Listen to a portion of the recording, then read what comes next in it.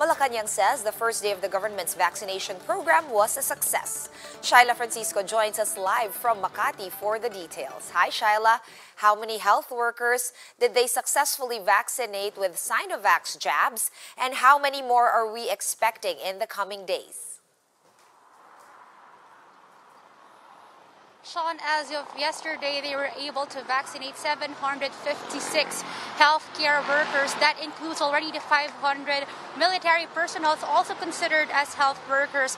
DOH officials said this was higher than they expected, and they suspect it's maybe because some of the officials were inoculated first, giving confidence to other health workers. They didn't mention how many health workers will be vaccinated in the coming days, but they expect this to increase as more hospitals will be given access to these vaccines. Sean?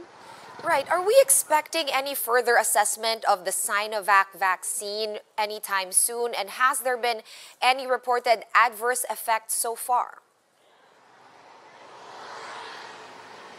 Sean, initially they treat the first day of the vaccination program as a success, but the officials say they will have to wait a week to see whether there is a decreased hesitancy among health workers. As for adverse effects, uh, they reported 20 healthcare workers who mentioned uh, some allergies, nausea, headaches, and some body and body pains. But they said this is common and they will monitor them to ensure that they will not ha have any more adverse effects after this. Sean? Right, Shaila. Is the palace confident that this vaccine rollout will address hesitancy among the public to receive uh, any sort of vaccine in general?